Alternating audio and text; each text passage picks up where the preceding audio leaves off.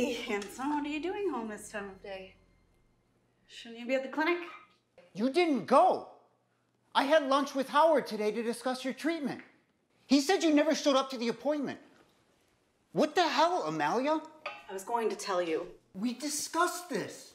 Immunotherapy drugs can treat pancreatic cancer even in the fourth stage. They're checkpoint inhibitors, and they help the body's T cells recognize cancer cells to attack them. And that's just one type of treatment. There's a vaccine made up of inactivated tumor cells that initiates a more effective immune response. Howard is leading the research in this. He's the best oncologist we have out there. I don't want treatment.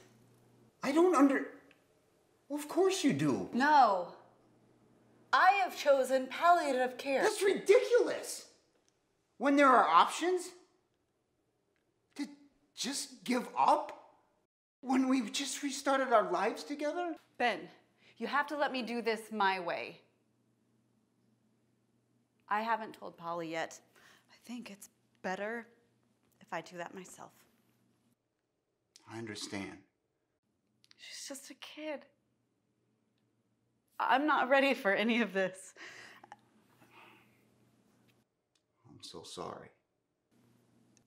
It's just so awkward. We just rekindled our feelings. Did you think I'd walk away? I thought you would feel obligated in some way, and you're not. Please know that. Melia. I love you.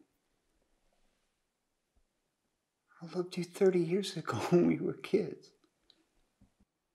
And all the time in between when we weren't together. And now, I'm here for you and Polly. I'm not going anywhere.